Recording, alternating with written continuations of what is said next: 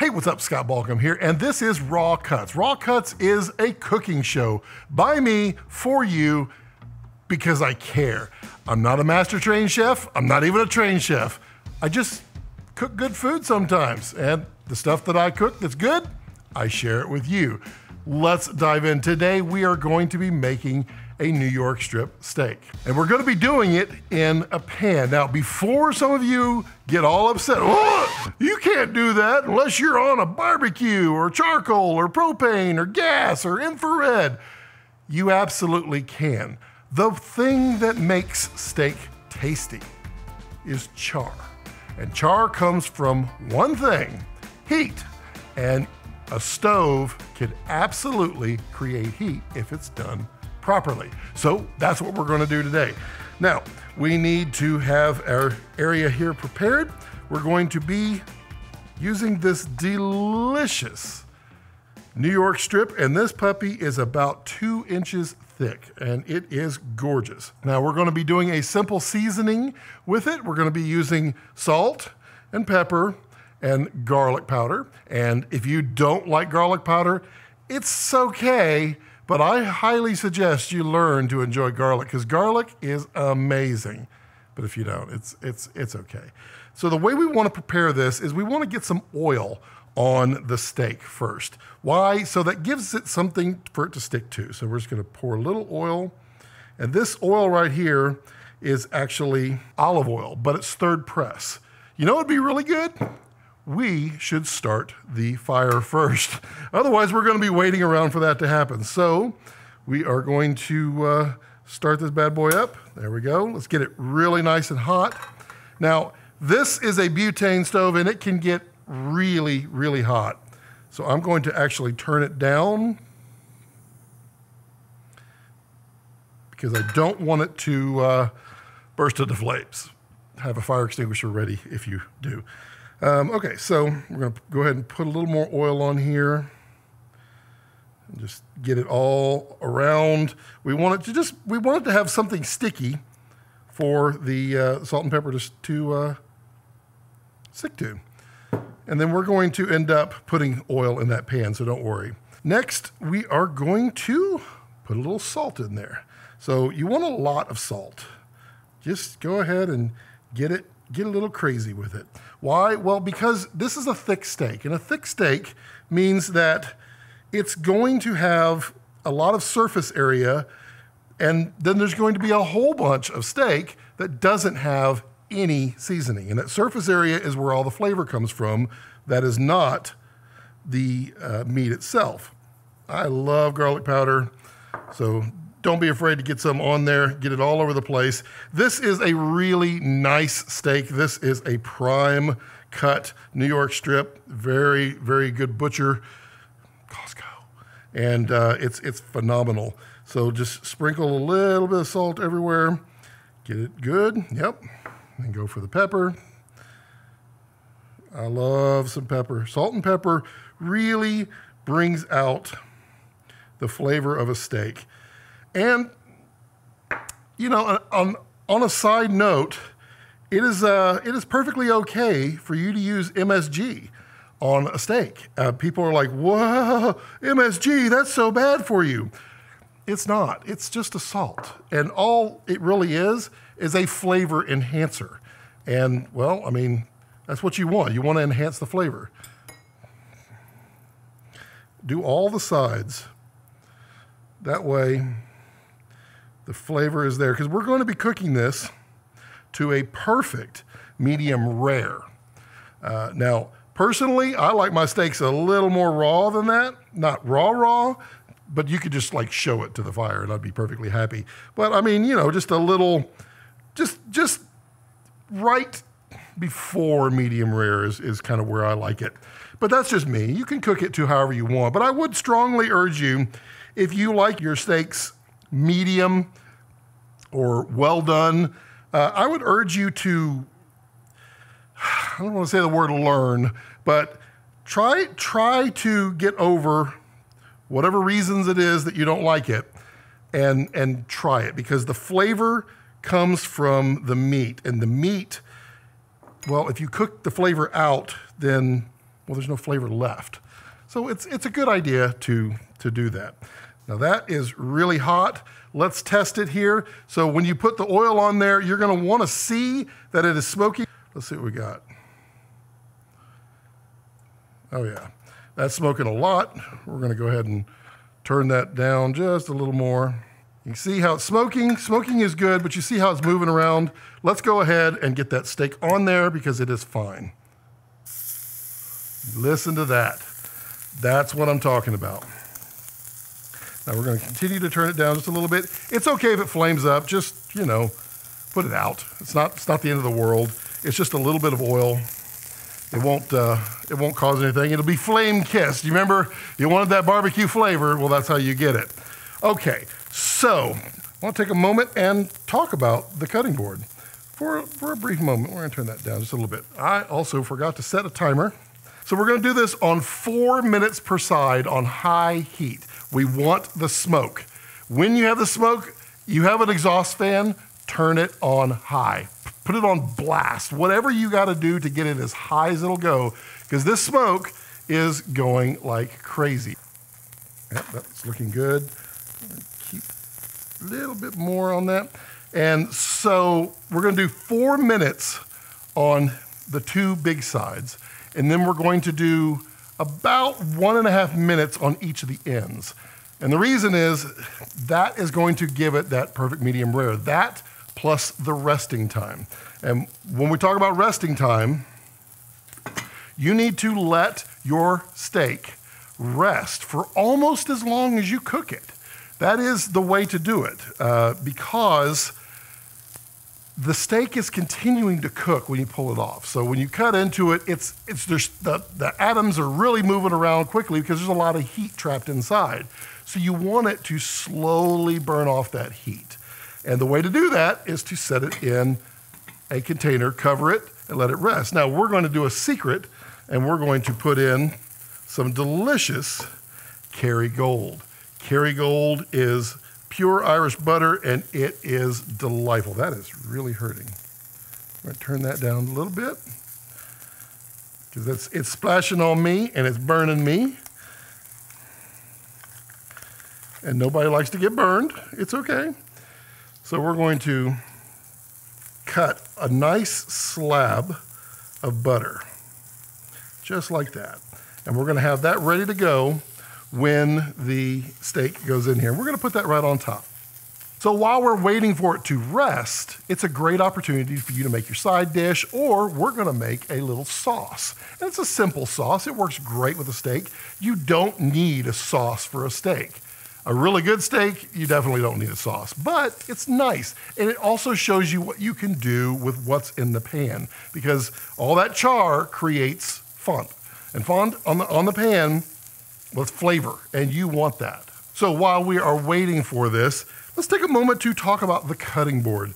A cutting board is, well, it's a centerpiece in a kitchen. It's a great place for you to carve your turkey at Thanksgiving. It's a great place for you to cut up your meat. It's a great place for you to cut your vegetables. And this right here is a fantastic cutting board. This was made by a friend of mine for me. And this is great. Her, her company is Handmade with Hearts. She started doing woodworking and I saw her her cutting boards that she was doing. She was doing charcuterie trays and, and cutting boards, and I thought, wow, I've got to have one of those. All right, let's um, let's flip this over, and we're going to start the timer again. Now, take a look here. Look at that. That is char. Remember that stuff we're talking about? That's flavor, and that's what we want to see and it's doing a fantastic job. So back to the cutting board. So I told her I was going to be doing a cooking show and that I wanted a cutting board for me. And I said, I don't want to tell you how to make it. In fact, what I want you to do, because you know, she and I have been friends for a long time, and it's, it's great when you know people. I said, I want you to make a cutting board for me that you base it upon me. So you know me, you know my personality, you know my energy, all that good stuff. I want you to make a cutting board that reflects me. And I got it the other day, literally just a week ago. I opened it up and oh my gosh, this is incredible. It's walnut, it's in grain. I mean, she did an absolutely gorgeous job on this. Look at this thing. It's, it's absolutely beautiful.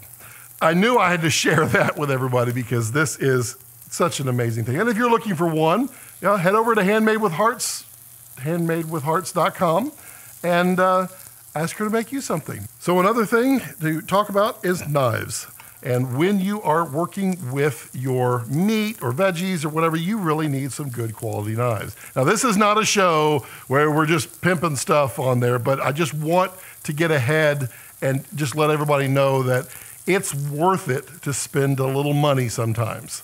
And, and this one, these are not that expensive. These are Dalstrong knives, uh, but they have been really, really good, and I've been really pleased with them. When it comes to getting char, you need a pan that can evenly heat. And it's very important that you get a pan or have a pan, and maybe you already have one, that can evenly distribute that heat and, and do it. Now, this is an all clad, and I used to make fun of people who had really expensive cookware until I bought an all clad. And I gotta say, I'm really embarrassed that I didn't buy one before because it really will change your level of cooking. It's not just the confidence that it gives, because I mean, that's a real thing. If you buy something expensive, all of a sudden you feel super confident. It is the evenness of the cooking. You get an amazing, I mean, just everything that I put in there comes out great. It's, it's easy to clean, it's great. This is not an expensive pan by expensive pans standards. This one is like $120. Uh, I would highly recommend you get a good pan. Doesn't have to be an all clad. We've got 18 seconds left on this, and then we're going to flip it over and do the edges at two minutes per. I'm going to go ahead and turn this up a little bit because we're just not quite getting the smoke that we used to get. And I likes it. Ooh, that's look good. Oh yeah. Let's go ahead and start that. Now, if you have a thin steak, these type of grips, these, these, what do you call these? Tongs. These tongs, to talk to my uh, camera operator over here, my wife, uh, tongs, silicone based, that can lock. Why? Well, this was a trick showed to me by my friend Eric. If you have stuff that won't stand up on its own, take the tongs, clamp it down, and pull and lock it. And then you can just rest this on the side and it will stabilize your steak for you. Another thing I want to talk about, and we're going to be, when we cut it open, I will explain. When you eat steak, this is something that I've learned. It's personal opinion, personal preference, but there's a little bit of, of science behind it.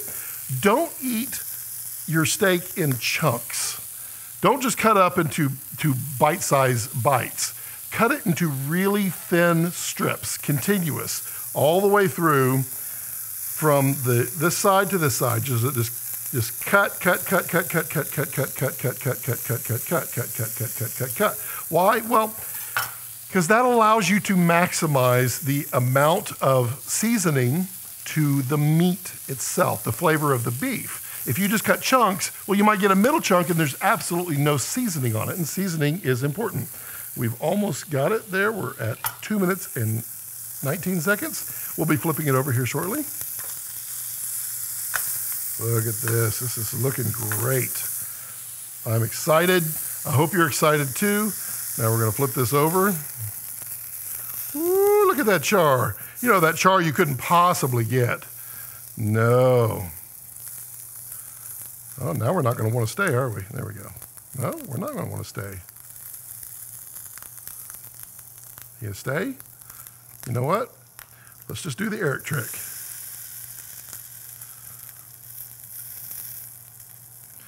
There you go. It's resting easily right there.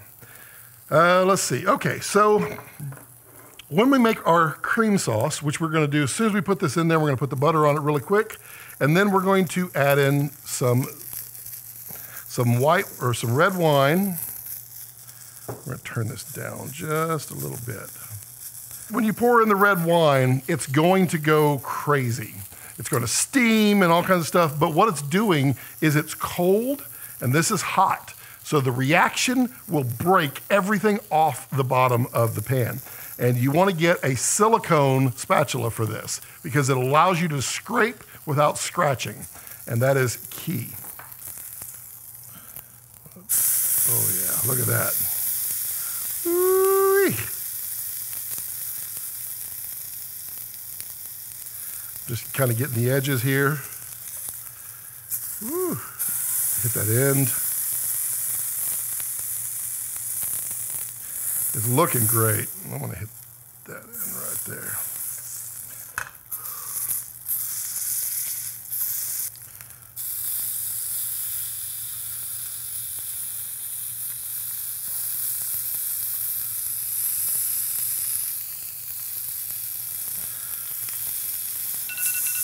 All right, that is done. So now we're going to be putting it into the resting dish. So we're going to take this off, place it into the resting dish, and then immediately we're going to add this pat of butter right here. Just go ahead get your hands dirty. It's Kerrygold, it's light gold. Place that right on top and let it sit. Cover that up, and we're good there. Now we've got this, it's hot. We're still cranking. Let's pour in and watch what happens. Okay? Now, go in there and just start moving around. Make a mess. That's what I do. I do it really, really well. Look at that. The, the bottom that was all dirty is now clean, and the red wine will cook down. So now that we got that in there, next we're going to add some heavy cream. And you want a little heavy cream because, well, it helps thicken it up. It also gives it a really nice creaminess to it. That should be just about enough. You don't need, I'll do a little more. You don't need a whole lot. It's, it's amazing how much you can make, and it's also really delicious how much you can make. So we're getting that, we're mixing it up. Now, let's add in some more delicious, turn that up a little bit. All right, so we need to add in some Worcestershire sauce. Worcestershire sauce. Worcestershire sauce. Because it's delicious. We're going to turn that back down because that's really going crazy. So paprika. Smoked paprika is amazing. Add that two in here. Get it in there. Good. And then we're going to go ahead and add some more salt. Good. Add some pepper. A little more. Yep, good. And let's go ahead and just uh, finish up with some garlic powder. Why? because it's delicious. It's absolutely delicious. Okay, now start mixing that up. Make a big mess. Show everyone you dominate the kitchen. Just assert yourself as the dominant party in the kitchen by making a mess. That's what I do. So we're going to let that cook a little bit. It'll start to reduce just ever so slightly. Now you can also add in some uh, mustard if you want. Uh, it will give it a little flavor. If you're making a pork, a, a mustard, uh, just, just a simple ground mustard is fantastic. The next thing we're going to do, and this one is key, we're going to add some butter. But to add butter to a sauce, and this is something I learned, you never, ever add butter when the heat is on. Turn the heat off, and now add in just, you know, two tablespoons of Kerrygold, and then mix it around. The reason is, is that butter will separate under heat. So when you turn off the heat, it's just absorbing from around it and it's melting. And then you end up with the creamiest of sauces. And it is, it is phenomenal. Check on this over here. Ooh, it's looking good. Let's get that butter going it's, it's having some fun there. So keep mixing this, and then we're gonna pour this into a little bowl right here. All right, next, we're gonna pour this into the bowl get all that deliciousness out of there. And there is your sauce. We're basically ready now. The only thing we need to do now is take out our steak, cut it up, plate it, and put our sides to it. And we are ready to slice this bad boy up and look at this. This is a really, really pretty, pretty New York strip. And we have some green beans that we've made, and we'll make that in a later episode. But I just want to cut in here and show you what I mean. So that, the end is going to be cooked more. That fat cap. Look at that. That beautiful, beautiful medium rare. Nice and thin. Ooh, that's looking great in there. Cut through all this. Need to sharpen my knife. All that, that crust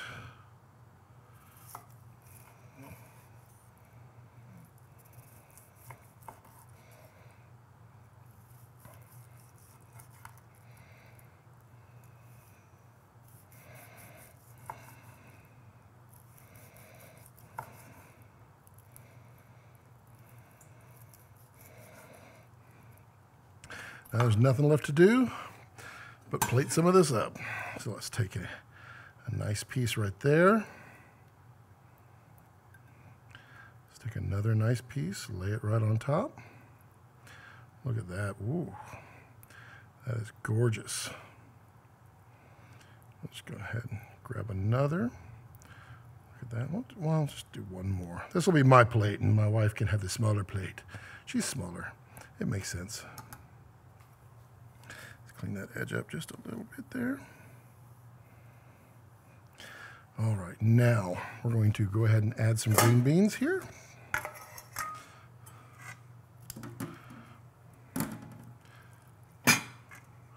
these are green beans with onions and mushrooms, and they are delightful. They really are. Put that there. Next, you know what? I'm just going to add one more piece right there. Get that fat cap out of there. All right, now we've got that. And now, look at that. Look how beautiful that is. That looks absolutely amazing. Let's add a little of the sauce to it and watch the magic. Well, you don't have to watch it, you get to taste it. And don't drench your, your food in the sauce. Leave, leave part of it for it. That, my friends, is an amazing New York strip prepared with green beans, mushrooms, and onion, onion rings. Yeah, just onions. So that, my friends, is how I prepare a New York strip inside and get that delicious steakhouse char and flavor that, well, only can be replicated by a pan, but normally it's done outside. And we're gonna be doing a lot more of these. I hope you enjoy it. I hope you follow along. I hope you try it. Go ahead and uh, try the recipe. Let me know what you think. The, uh, the amounts that I used, it's not that important. Everything is a balance. Everything is about the taste. So if you like pepper, go ahead and go crazy with the pepper. If you like garlic powder, go ahead and go crazy. The cream, if you want it more creamy, add a little more heavy cream. It's all about balance and it doesn't have to be precise. Precise is when you want to replicate, but that's not cooking. That is following a recipe. Cooking is about experimentation and enjoying what you're doing. That's thunder. It's storming outside, and we're at the end of our cook. So Remember to give us a thumbs up if you liked it. If you didn't like it, give us a thumbs down. It's okay. We can, well, I'm still going to eat this. And uh, let me know down below what you thought. What, what, what, do you think? What do you want to see next? Do you have any other ideas you want to see me do? I'm, uh, I'm, I'm game for it. I also have a lot more in the can, or not in the can, but a lot more coming down. So uh, I hope you enjoyed it. And forks up? I don't know. I don't have a catchphrase yet. Forks up, dig in. Let's get, you know what? That's a good idea. Let's just try one. Let's grab this bad boy right here. Ooh, that's a big one.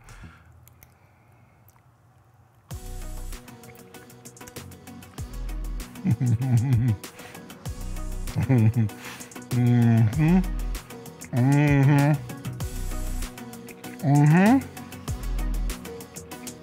Mm-hmm. Mm-hmm was good.